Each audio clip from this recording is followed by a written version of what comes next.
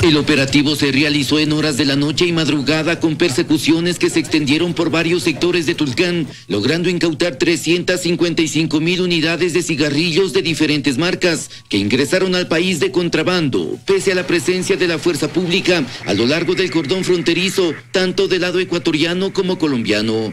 Este tipo de organizaciones no se detienen y por el contrario pues quieren aprovechar, entre comillas, la confusión que existe ahora los cigarrillos eran transportados en estos seis vehículos para su traslado y comercialización al interior del país, logrando la detención de 12 personas que se enfrentaron a los uniformados para evitar el decomiso. Esta acción coordinada apoyando a la Policía Nacional, a la Unidad de Delitos Aduaneros, se pudo concretar esta operación. De tal manera, si hubo resistencia, trataron de huirse.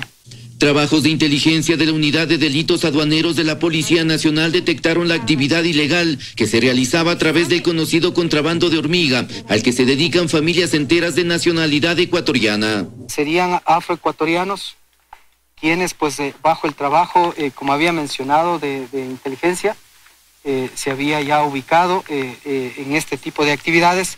Los operativos policiales lograron además la aprehensión de tres toneladas de bicarbonato de sodio, considerado precursor para el procesamiento y cristalización de droga, por lo que no se descarta que su destino eran los laboratorios clandestinos de Colombia. En Tulcán, Jairo Jacome Ortega, 24 horas.